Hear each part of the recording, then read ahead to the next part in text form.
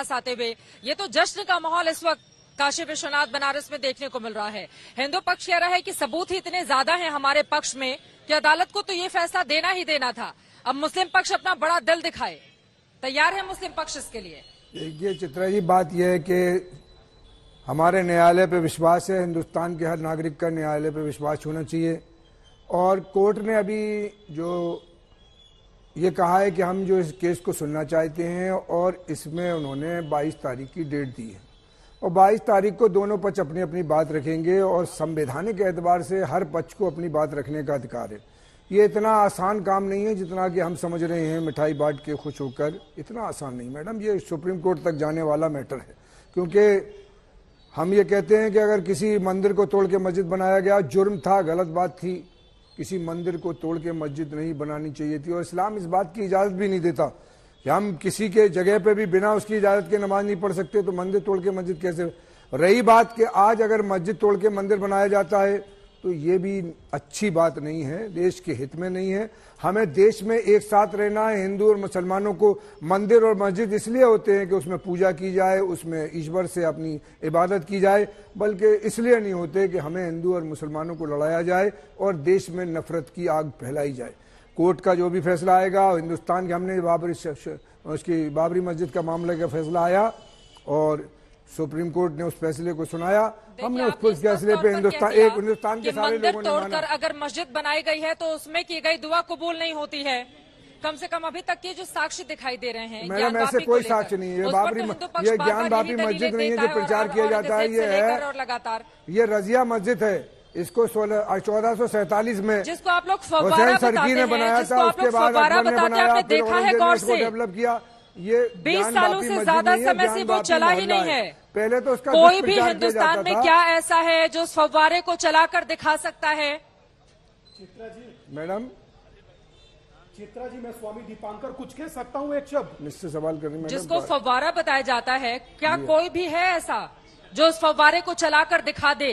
Madam फवारा वैसा होता है क्या? ये, ये, इतिहास की किताबों में भी नहीं मिलेगा अगर आप पुरानी तस्वीरों को पलट कर देखने की कोशिश करेंगे तो हिंदू पक्ष ये दावा करता है। चित्रा जी मेरे साथ आप चलेंगी जो 100 साल 200 500 साल पुरानी मस्जिदें हैं दसियों मस्जिद में दिखा दूँगा एक में नहीं। ऐसा ही फवारा दसियों मस्जिद में दिखा दूँगा एक के नहीं हिंदुस्तान की। अलतमश ने बनाई है बदाइयों की जामा मस्जिद। अलतमश सात सौ आठ सौ साल पहले हिंदुस्तान में हुक्मरान रहा है उसकी मस्जिद में जामा मस्जिद में भी ऐसा ही फवारा है। आगरे के में भी ऐसे ही फवारे तमाम ऐतिहासिक जो मस्जिदें हिस्टोरिकल मस्जिदें हैं उनमें ऐसे फुब्बारे मौजूद हैं। रही चलाने की बात ये कोर्ट की ज़िम्मेदारी है। उन्होंने सारे आइटम दिखा दिए कि कोर्ट को सच जो कोर्ट के सामने रखे हुए प्रमाण कि ये इस तरह चलता है उसकी सारी चीज़ें मौजूद हैं अभी। वो रखी जाएँगी कोर्ट में जब कोर्ट सुनेगा। चित्रा जी चित्रा जी। कार्बन कोटिंग अगर होगी तो यकीन जो भी सच सामने आ जाएगा। स्वामी दीपांकर जी स्वामी दीपांकर जी वो कह रहे हैं ऐसे सैकड़ों फवारे हैं।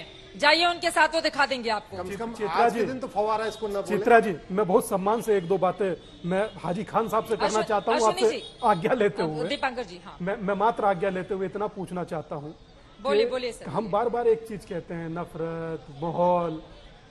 अगर कोई बात आस्था की है हाजी खान साहब तो उसके लिए अगर लड़ाई आप भी उस कोर्ट में लड़ रहे हैं हम भी कोर्ट में लड़ रहे हैं तो विवाद की बात आती कहाँ है? पहली पूरी बात सुन लीजिएगा।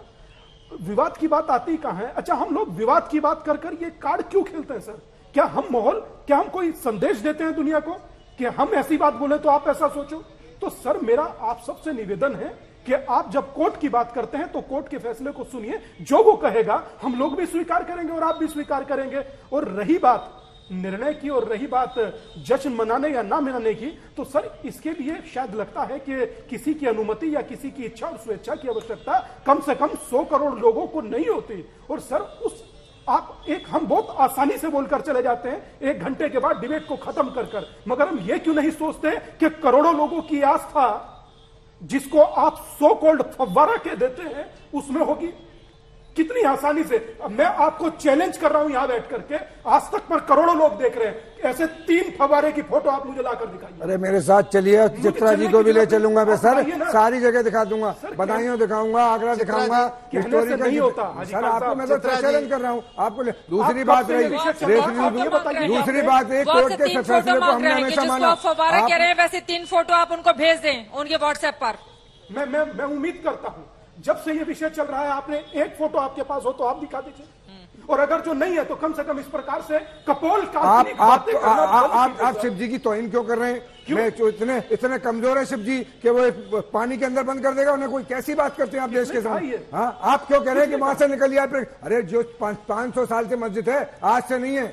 और वहाँ के वहाँ के भी स्वामी थे जो बनारस के जो कह रहे थे कि हम हमने वहाँ रोचक चीज़ है वहाँ पड़े पढ़े वहाँ पढ़े हमने देखा समय पारा था। एक स्वामी कह रहा है तो भाई बनारस का एक स्वामी कह रहा है। आप सुनिए तो सही सर। ये सबसे चित्रा जी रोचक चीज़ है कि ना सुनना और वो कहना जो उनका मन है। एक होता ना कि खुद के इन्फ्लुएंस में रहना। ये स्वयं के इन्फ्लुएंस में। नहीं नहीं जो मैंने बात ही नहीं कही ये उस देश बात देख का रहा उत्तर मुझसे मांग रहे हैं। स्वामी जी हम भी हम भी- हमें भी ना, हाजी खान साहब, आप दुनिया में समझ आ रहा है कि संविधान की चलेगी कानून की चलेगी बिल्कुल। या कानून का मज़ाक उड़ाया आपकी बात से सहमत हूँ। मस्जिद का फैसला सुप्रीम कोर्ट का फैसला नहीं है। आपकी बात से सहमत हूँ। सुप्रीम कोर्ट ने दिया है। और दोनों पार्टियों को सेटिस्फाई किया है सर,